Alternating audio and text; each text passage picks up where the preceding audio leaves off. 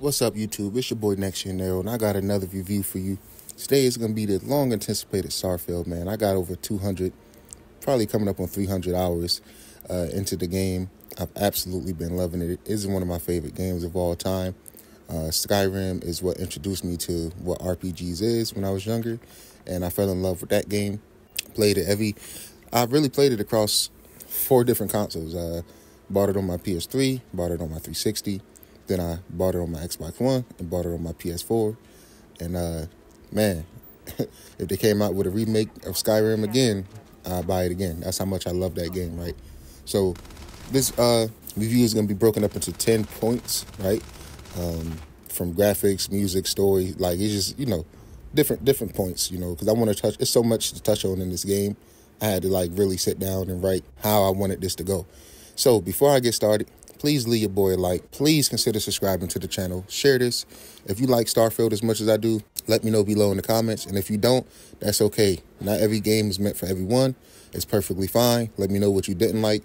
Um, I'm a Bethesda fanboy. I absolutely loved it. Can't wait for the Elder Scrolls 6 and Fallout 5. So let's get into it. The first thing I want to talk about is graphics and gameplay. These graphics to me is truly next gen, right? The lighting is absolutely beautiful. I'm playing on the Xbox Series X. And for this to be in 30 FPS, I don't know what Microsoft got going on over there, but they games in 30 FPS feel so insanely good. I don't know if it's the Xbox technology group doing something behind the scenes or some like really high quality motion blur, but this game felt really good. And I was very upset leading up to the game release when they said it was going to be 30 FPS. I did not agree with it. Uh, I was pretty upset because, um, you know, the Series X is so powerful. I'm like, man, we should get this. But look, it's absolutely worth it, man. The graphics, in my opinion, is top tier for this generation of gaming. That global illumination is so beautiful. When you step off your ship for that first time on a new planet or a new area, it's just a crazy feeling that you can't get nowhere else, right? It's untouchable, and Starfield does that so insanely good. I absolutely love it. And the gameplay is very smooth, man. You know, a lot of people complain about loading screens, this, that, and the third, but it loads very quick. You know, would you like, would I like to see less loading screens? Of course, I think we all will. But when your screens is loading this quick and you can jump from one star system to the next within two, three seconds, you know, that that's very impressive. And you won't hear me complaining too, too much about that. So graphics and gameplay is top tier. I think it's the best in Bethesda Game Studios. As far as gameplay, I think it's the best. As far as graphics, I also think it's the best. Absolutely loved it, right? So the second point I want to touch on is the music and sound design. Starfield has the best tracks and music in the game this generation, I would say, right? Now it's really tough because Hi-Fi Rush released this year. I've been playing Alan Wake 2 as well, and them soundtracks is absolutely top tier. But the fact that I'm over 200 hours in the Starfield and I'm just every time some music played during a fight, during exploration, even just sitting down and just chilling on my ship, it's just so perfect, man. They absolutely killed it with the sound design. You feel what I'm saying? The music is perfect. The sounds of the guns is awesome. The ships, the landing, the taking off, the space battles, everything just sounds really good. So I'm I'm big on sound design and, and good music in games. And you know, Bethesda absolutely nailed this. And they have been doing it for decades. You know, Skyrim music is also a big thing that's very memorable to me. Just exploring that game and, you know, everything you can do in that game and just traveling, hearing that music. It's just, it's so good, man. And I'm happy Bethesda still is killing it in that department. Now, the story and attention to detail. For me, for me personally, I think this is by far one of, if not the best stories in a Bethesda game, right? Um, the attention to detail is insane. For me, the story had a couple twists and I'm not going to spoil it, right? I want to make this as spoiler free as possible. The story had a lot of a, a, handful of twists that I didn't see coming, and the way they did the new game plus is insane, right? Like you can go up to eight or nine new game pluses and just, you know, it give you different uh, outcomes and different ways to play and different dialogue options every time you beat the game and learn something new. To me, I think that is very dope. It's a lot of attention to details. It's just very good all around, man. I can't complain about the story. Um, you know, I love the God of Skyrim, but the main storyline is is not what's memorable for me, right? The the most memorable things in there is the side factions and and um, you know the the thieves guild, the companions, you know all those side stories and, and sub quests and, sh- and stuff like that, right? So I think Starfield main story is absolutely amazing. I really liked it, and it has great attention to detail, and that leads me into my fourth talking point, and that's side content and things to do. The side content in this game is god tier. The factions, right? I'm gonna just speak on one faction. The Vanguard factions. The Vanguard faction storyline is arguably better than a lot of these main games that's been coming out storylines. That storyline is so good and has so much flexibility and it's so interesting, right? I, I will argue it's dang near right up there with the main campaign. So the Vanguard had a great campaign for its factions. I also liked the Ryujin storyline, and then it's like little side storylines and, and, and, cities like Neon, and you can join gangs and do little things like that. Uh, I, I like the all the factions quests, but the Vanguard for me is definitely the go to for sure, right? So it's a lot of good side content. It's a lot of good side missions. It's a lot of things to do. I love it, man. I, I think it's really dope. And, you know, what I'm gonna include in side content is exploration, right? I see a lot of people saying just play the story. I'm not really meant for exploration. I'm sorry, but I'm a Mass Effect fan. And I argue I love Mass Effect 1 over 2. And I'm gonna tell you how this plays in, right? In Mass Effect 1, you can land on planets. Not every planet, but you can land on a handful of planets. And those planets was completely barren, was completely empty. They were just empty planets to run. You run to the little spot, you go in, you fight Husk or whatever you're doing. But guess what? I absolutely love that. Because in space, a lot of planets is barren. I get that. But the, just the satisfaction of landing on a new planet, stepping off my ship, and just exploring, whether there's things there or not. For me, that's just the space junkie in me. I, I love that. I think that is awesome. And Starfield does that times 10 for me right? I, I, made a whole specific build to be an explorer, exploring trait background, and, and that's my personal story right? And my character I made, and I just dedicated this build to just fully surveying the galaxy, fully surveying these planets and stuff. And playing like that, I have to disagree with a lot of people. I get like, you know, people want that handcrafted worlds and they might not like procedural generated, but I have landed on some absolutely jaw dropping vistas, some jaw dropping gem of planets, right? And I found so much dope shit on these planets. And yeah, sometimes you might run into, you know, rehash uh, things like you might oh, didn't I run into this oil rig on another planet before? Like that does happen, right? I'm gonna be fair with that. That does happen. But it's so much to do and discover in these worlds and planets that I feel like it's worth it. You know, when you land on a moon and you look up and you can see the planets, or when you land on a planet and you look up and see the moons, and then you can say, you know what, I can go to that moon. Then you land on that moon and look up and see that planet. To me, that's beautiful, man. That's everything I wanted to do in a Mass Effect game and more. Mass Effect is one of my favorite games of all time, up there with Outer Worlds, you know, Skyrim and Starfield, man, has taken the spot, right? And I just think it's a lot of side content. It's a lot of things to do. And I have to keep saying that because even building relationships with your companions and, and your partners, right? So I only reached max companionship with Sarah right? So these characters got a lot of lore that when you hang with them, you can learn. You can do whole playthroughs for each of your side companions just to focus on them. You know, I want to fall in love with uh, Sam Coe, right, and see how that plays out with his daughter. Could I be like the mother-in-law or something like that? I want to see what's up with Barrett because he has such a funky, fun attitude. It's awesome, right? And I wanted, I wanted Andreja. You know, I stand for her and Sarah, so I feel like that's really dope, man, and I love it, man. So it's a lot of things to do. So I love it. And, and, that's what Bethesda games are known for content, content, content. It'll be played for the next 10 years, and I'm all here for it. So the fifth thing I want to talk about is space combat.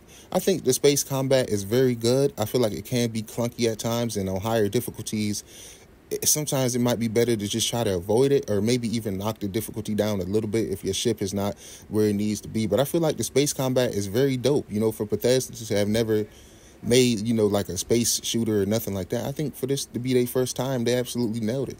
Uh, it feels good when you get your ship the way you want it, the combat and the it's just satisfying. You know, you can board the ships, you can blow it up, you can try to uh, rob and smuggle people if you want to be a pirate. So I think the space combat is very fun. It's very solid.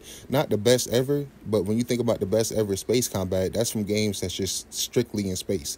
So when you take into consideration that you land in, you can explore, you got a dope story, dope shit to build out, you know, and to include this in the space combat, the ship building is very dope too. It can be it can take you a little minute to understand and learn everything, but once you do, man, you can really make some beautiful ships out here, man. And you know the the creations is endless. You know if you want to make a Star Wars type ship or um, you know, one of your favorite space movies or series, you know, Star Trek or anything like that, you can really do it, man. And I think that's really dope for the creators out there. And while I'm speaking on creating things, you know, outpost building is great as well. I've seen people build whole like little communities and stuff on planets where you know, they actually manufacturing goods and people is coming, landing there, and they really building their own little ecosystem. And I think that's very dope, man. Uh, and I don't think Bethesda and Starfield get enough credit for letting people build. You know, the only other game I can really think of is uh, Halo, you know, with Forge, letting people create a lot of things, right? That's very dope. So the sixth thing I want to talk about is the gunplay. By far the best gunplay uh, BGS Studio has ever put out. It wipes the floor with any Fallout gunplay. And I know that might not be saying a lot to some people, but I'd argue this gunplay is right up there with some of the best shooters that Xbox own as far as like um, I'm gonna use Wolfenstein for example, right? I'm not gonna say it's better than Wolfenstein, but it's it packs that punch and it's so it's so satisfying fighting. You feel what I'm saying? Like I want to fight, even though my characters where I'm not like you know a fighter, I still want to fight because that's how good the the gunplay feels. It's very good, very very good. I absolutely love it, and I can't wait to see how Fallout Five feels. Right.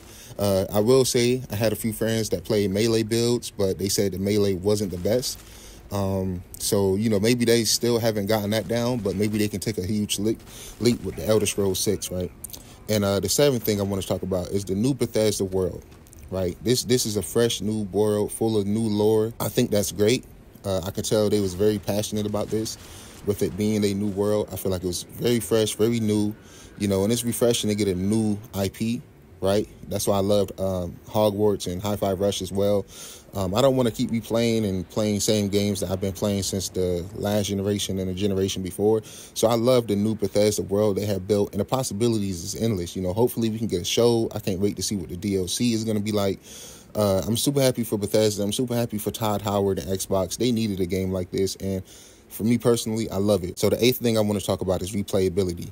With Bethesda Game Studios, they're always known for being able to replay them and have different builds and different outcomes.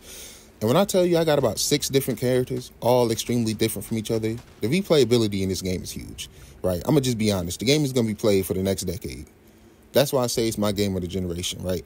Alan Wake might be my game of the year, but Starfield is definitely my game of the generation because it's going to be played forever, right? It's going to be played for so long, just like Skyrim. And when you add mod support into this thing, oh boy, oh boy, be prepared to have a great time, man. They killing it, man. And like I said, they and you, you can do five, six, seven new game pluses, man, and keep getting different outcomes. I see people steady just going through the campaign, getting different outcomes and stuff. So the replayability is through the roof.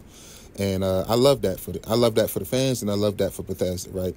The ninth thing I want to talk about is voice acting. Top tier. Absolutely top tier. Haven't met one bad voice actor in this game.